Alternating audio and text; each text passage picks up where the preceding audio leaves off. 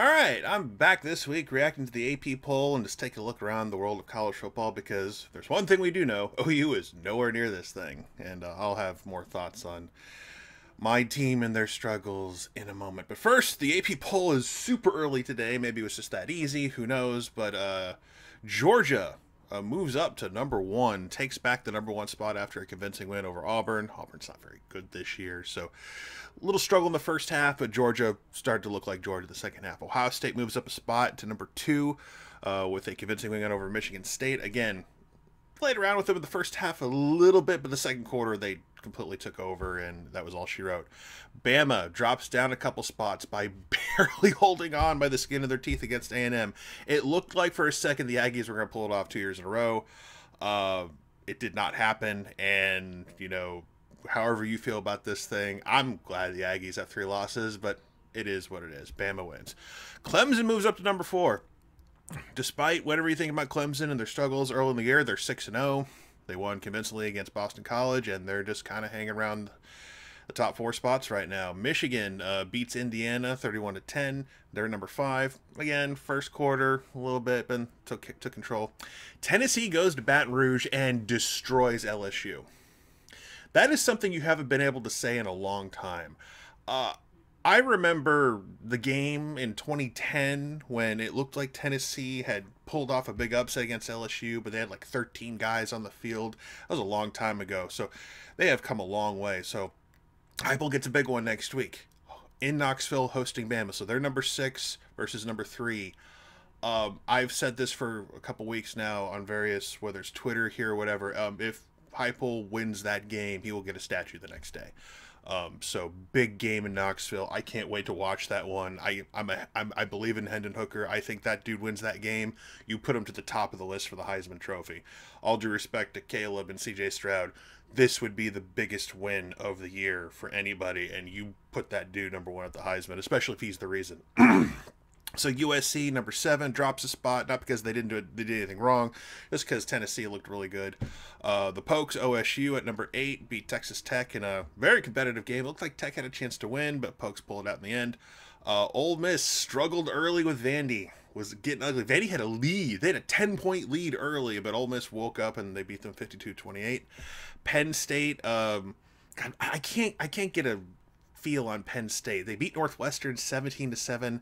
Uh, I think they play Michigan soon, maybe this week. Um, they're I think they're just doomed. Like Ohio State and Michigan are just going to crush them at this point as far as I'm concerned. UCLA is number 11, move up 7 spots, beat Utah by 10, 42-32. UCLA is creeping up there, man. Uh you know, I'll give the Pac-12 credit. Um, despite the fact you know who is undefeated, uh, UCLA doing well. Uh, Oregon has bounced back very nicely since the lo- early loss to Georgia. Uh, the Pac-12 and Washington State, even though they lost last night, they've had a solid, have had a solid year. The Pac-12 is kind of decent this year. So you know, everyone was writing out the Pac-12, but who knows? You might have like a collision course between the Battle of Los Angeles with USC and UCLA at the end. So, so long ways to go, but that's becoming a game where I don't know whether it's in the Coliseum or the Rose Bowl. That's going to be filled up regardless, whichever it's at. I just don't have that handy on top off top of my head. So, TC, uh, excuse me, Oregon number twelve beat Arizona. Uh, TCU beats Kansas 38-31. So while I was watching the horrendous, like pathetic performance in Dallas yesterday, uh, TCU played Kansas. They beat them by by, by touchdown. Um, you know, Kansas quarterback Daniels goes out with a shoulder injury. Uh, their backup came in, and you know it was Bean, the Bean kid. We played him last year. Uh, did fairly well. We'll talk more about Kansas later in the week, but uh, TCU is for real, and uh, they can do. They roll on undefeated, five and zero oh at thirteen. Wake Forest beats Army 45-10. They're at 14. Uh, NC State at 15. Holds on against FSU. It looked like the Seminoles might have pulled this one off, but just a couple weird mistakes, and I don't know what was going on there, but uh, I think there was a punter who punted past the line of scrimmage. That one's new. Um, regardless, uh, NC State uh, drops down one spot to 15. Mississippi State up seven spots, five and one on the year, beats Arkansas convincingly 40 to 17. Mississippi State kind of making a little bit of noise now, so you got to watch out for the Bulldogs on the Western Division of the SEC. K State barely holds on to beat Iowa State on the road 10 to 9. I know that hurts so many of you right now to hear that, uh, but here we are. They're seven. They're number 17, five and one. Syracuse undefeated, five and zero, move up four spots, beating something I believe it's Wagner, Wagner, fifty nine nothing, nothing to see there. Kansas remains ranked after the TCU loss at 19. Utah drops nine spots to 20 after losing UCLA. Cincinnati moves up a few spots, barely holding on against South Florida. They're five and one. The Longhorns are 22. We know why. Uh, Kentucky drops nine spots. South Carolina gets a big win. So how about for, how about that for Shane Beamer and uh, Spencer Rattler? You know, got himself a big W in the SEC. Congrats to them. And we are uh, at 24. We have Illinois at five and one, uh, beating Iowa nine to six. That is such an Illinois Iowa score if there ever was one. And making their AP poll debut, maybe the first time ever. Uh, James Madison, a member of the Sun Belt, five and zero, beat Arkansas State forty two to twenty. So how about that? That's the AP top twenty five today. Uh, came out early. Um, just a few thoughts. Um, I'll have some more thoughts tomorrow, and this is my advice to my fandom, to my fan base. Um, take a few days off from the internet, especially if you go to message boards. I know that's a lot to ask because a lot of you live on message boards. Um, take a few days off. I beg of you, because it's not healthy. I know you're venting, and there's a difference between venting and psychotic behavior, and you all are, some of you all are teetering on the psychotic behavior train.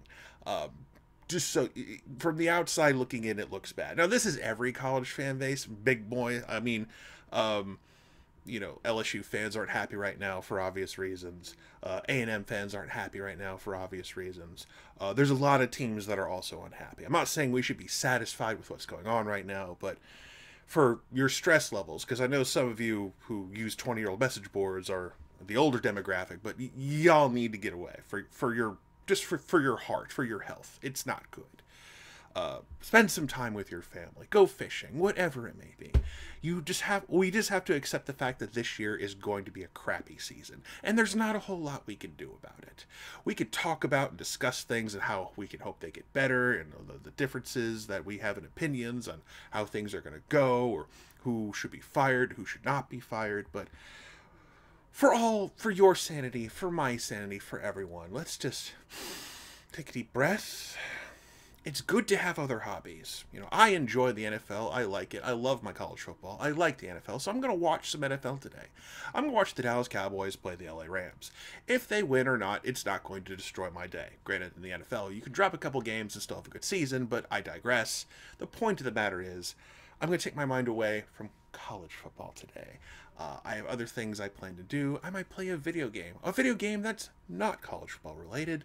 Something just to calm the nerves and I've just accepted the fact that we suck this year and there's not a whole lot I can do about it. I'm still going to watch my team. I'm still going to cheer for my team. At the end of the day, whatever goals or grandiose ideas I had this team could accomplish are out the window. And as of right now, I'm just going to breathe.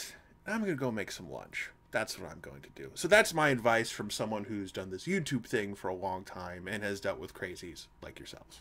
so, with that being said, Boomer Sooner, I really hope you all have a good day and start your week off a lot better than I did last week because last week sucked. And um, yeah, hopefully we'll continue on better in the future. That's all I got. I'm done for real this time.